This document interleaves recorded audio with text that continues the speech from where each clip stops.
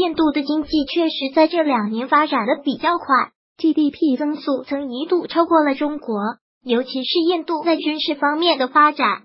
虽然印度的航母一拖再拖，甚至到二零二零年才要再度下水，但也不难看出印度的军工产业也是有一定实力的。印度现有的装备可以说拥有了包括美国、欧洲和俄罗斯等国先进的武器，甚至连 F 三五美国都愿意有条件的出售给印度。整个这一系列的事情让印度人都非常的兴奋，因为他们之前总是和中国比。中国有什么，他们就想拥有什么；中国没有的，他们还想拥有。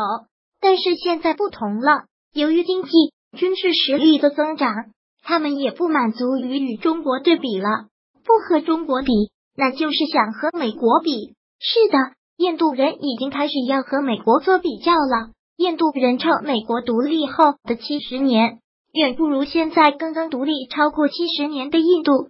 美国现在已经独立超过二百年，而当印度建国二百年时，也比将比美国强大。这只不过是时间问题了。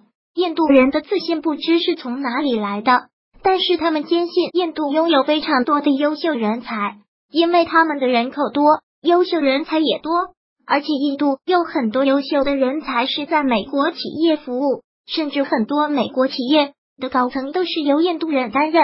所以他们相信，超越美国也仅是时间的问题了。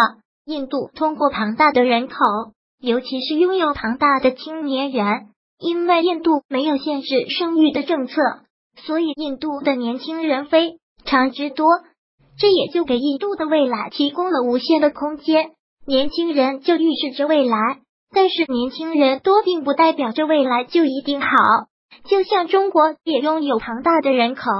但是中国的文盲率却非常的低，每年有大批的人参加高考进入大学学习，而且中国的义务教育也已经普及，中国的青年人已经具备了较高的文化基础。而印度不同，他们还有很多人还在为生存而发愁，更不用说教育了。其实这样的差距也会导致未来发展的不确定性。这两天，中国网友对此事的意见也比较统一。网友们都比较欣慰，印度终于开始和美国比了，别老是盯着中国了。